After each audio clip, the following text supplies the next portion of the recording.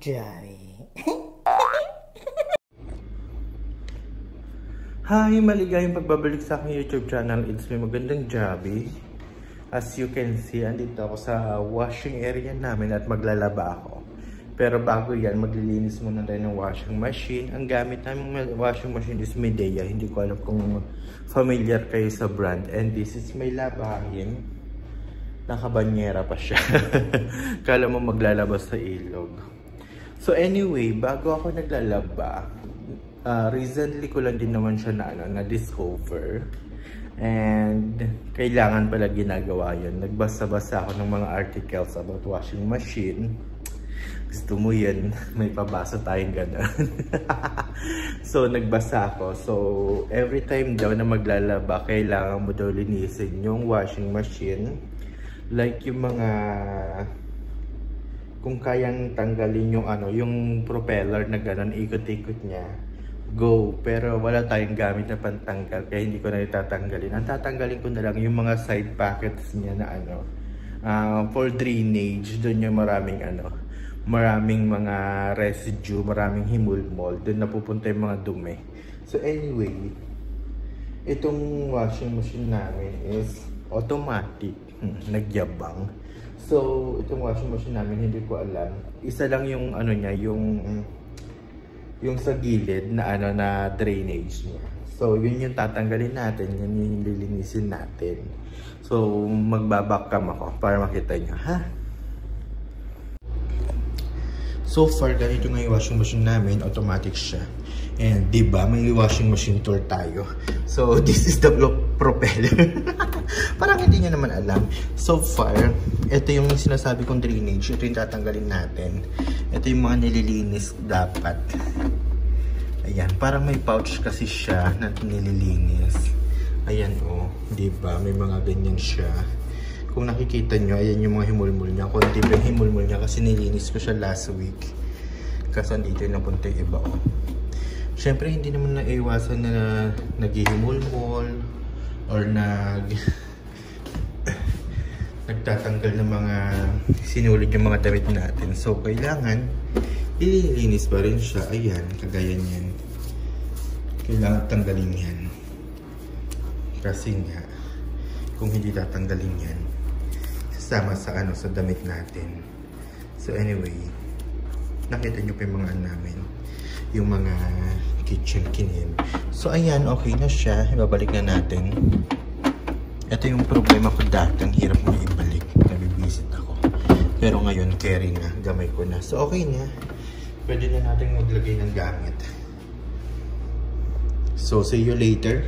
Para sa ating uh, dryer hole. Charot. Bye! So, ongoing na nilalaban ko. So, ang ating next agenda, maglilinis naman tayo ng, wash, ng dryer. Ito yung dryer namin.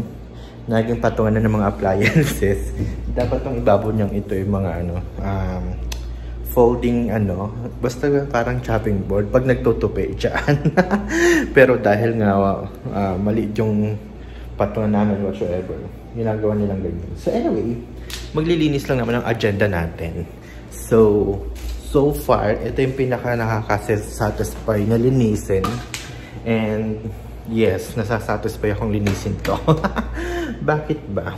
So, if you can see, may mga himulmul siya dito, oh. Lipat natin ulit yung camera, ha? so, so far, ito yung mga favorite kong linisin. Yung mga ganyan, di ba nga may himulmul yan? Kasi pag hindi mo tinanggal yan, kakapit din ulit yan sa damit natin palibot yan. O diba, ibig sabihin, hindi na masyadong nakaka-filter yung filter kineme niya dito. So, eto matagal ko nang alam. Kaso bago nga yung ano, yung washing machine namin, hindi ko alam kung saan tinatanggal. Pero dati nagtatanggal na ako sa mga ibang na bahay na napupuntahan ko. Saka ayan, kikita nyo diba, may ilaw. Charot. So, okay na yung loob niya. Hindi na natin lilinisin dito lang sa panlabas kasi nga nagtatouch nga siya. Yung himulmol, hindi na filter. So, ito yung mga tinatanggal natin. Ganyan. Ayan, malinis siya dyan. Kita nyo dyan, may mga pupunta dyan yung ano, yung mga dumi. Pero minsan kasi dito, andito lang yung mga ano, himulmol. So, tinatanggal ko din ko siya dyan, kaso wala siyang himulmol ayun. Baka nilinis nila. Ang hindi nila alam, meron pang isang tinatanggal. Ito. Ito yung mga nakakatuwa. Diba, ang kapal ng ano, ng himulmol. So, yan yung tatanggalin natin. Oh. Diba, nakakasatisfy. Mukha siyang foam. Tinatanggal talaga yan. Huwag kayong magtaka. Hindi yan ano. Yan yung mga dumi. Tinatanggal talaga. O diba? Ito yung pinakagusto ko na nililinis.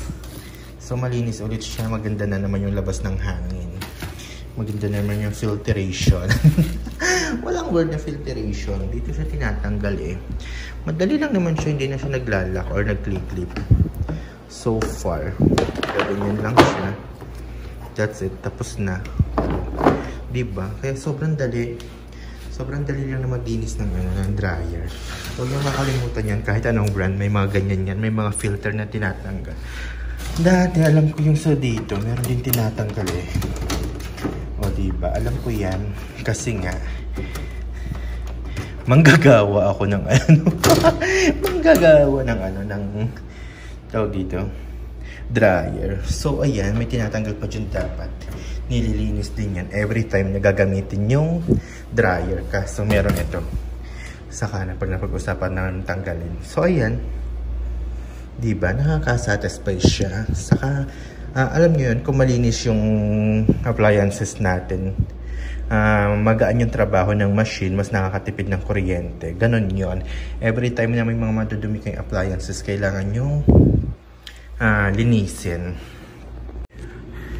Kasi sabi ng ano ng mga experts, nagdodoble daw ang work ng machine, nagdodoble ang electricity consumption sa mga ganyang bagay. So, anyway, at least 'di ba nakakapag nakakapag-share ako ng knowledge about the electricity and ganun. So, yun lang. Maraming maraming salamat sa panonood ng video ito.